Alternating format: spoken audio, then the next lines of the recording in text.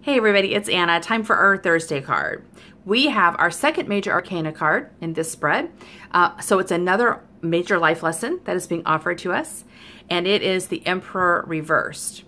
So upright, the Emperor is the Father card. It's the card that talks about creating a safe space in which we can grow and experiment and discover who we are before we go into the exposure of the larger world.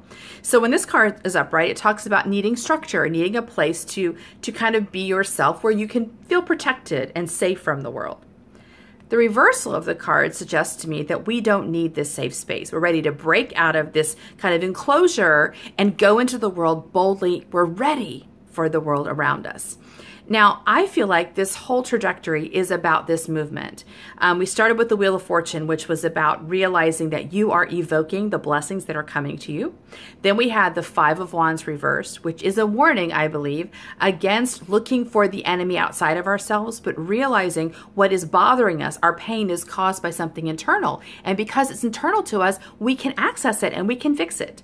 And the next card was a Three of Cups, which was about feeling comfortable and letting your heart shine, letting your heart pour out from others and letting them celebrate you.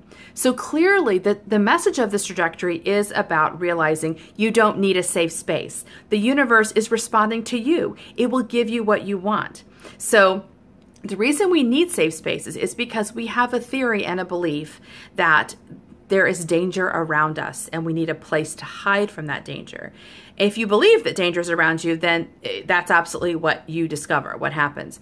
But but this card reminds us that there is this opportunity for us to clean up our vibration, to clear out the wounds and the old stories that are evoking that hostility and replace them with with um, stories and beliefs and experiences of love and expression and realizing we are the authors of the life that we want so this card reminds us that we do sometimes feel like we need safe places, but today is the day we throw off the need for safe places.